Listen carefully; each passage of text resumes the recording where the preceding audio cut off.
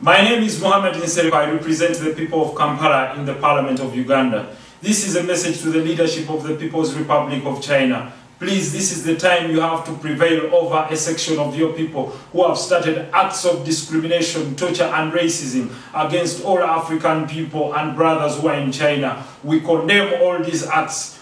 We in Africa, we've welcomed over 1 million Chinese who are doing all sorts of business to an extent that even some have been granted citizenship. And in return, a certain section of Chinese have started treating our brothers and sisters, sons and daughters like garbage, rejecting and ejecting them from hotels, rental homes, places of work, denying them entry into hospitals, malls and trains, it pains when African brothers are shown on videos entering hotels and they are being told to stay out. It pains us when African brothers and sisters are entering buses and they are told they cannot enter those buses just because they are black.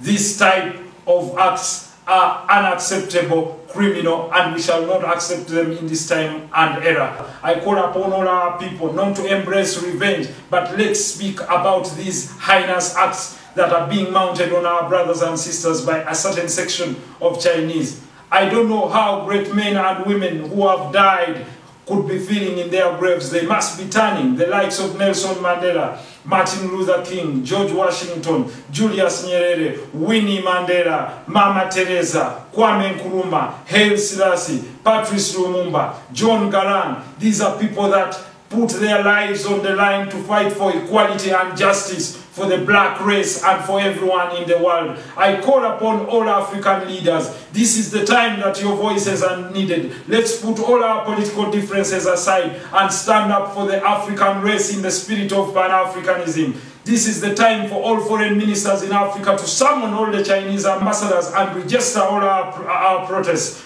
Oh, you President Muhammad Buhari of Nigeria, the Nigerians need you now. President Cyril Ramaphosa of South Africa, the South Africans need you now. Prime Minister Abiy of Ethiopia, the Ethiopians need you now. President Uhuru Kenyatta of Kenya, the Kenyans need you now. President John Pombe Magufuli of Tanzania, the Tanzanians in China need you now at this moment. President Edgar Lungu of Zambia, the Zambians who are living in China China need you more than ever. President Felix Tshisekedi of DRC, your people need you now. President Paul Biya of Cameroon, please stand up and roar. President Paul Kagame of Rwanda, stand up and roar. President Yoweri Museveni, this is your time to roar and tell the Chinese that this is not the way to treat Africans. President Nana Akufo-Addo of Ghana, this is your time to roar and tell the Chinese that you must respect the African people. This is a struggle for the Africans. We must stand up and embrace it, led by God who is the source of life. We shall liberate our African people.